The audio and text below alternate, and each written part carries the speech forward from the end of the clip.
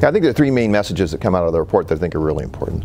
One is the need for the regulatory agencies to really take a balanced approach uh, as they look at the future products of biotechnology and what they might bring. Know, I think that there are a lot of different attitudes and opinions around some of those future products, and all of those points of view are going to have to be brought together uh, as the regulatory agencies think about what we should do next and how we should proceed and, and, and what types of information should be gathered. I think another uh, part of the main message uh, coming out of our report uh, is the profusion of products of biotechnology that we expect might be present in that five to 10 year time frame. Uh, the scale, scope, complexity, and tempo uh, is something that's going to be a challenge for the regulatory agencies to deal with, and I think they need to think about uh, how they're going to deal with that.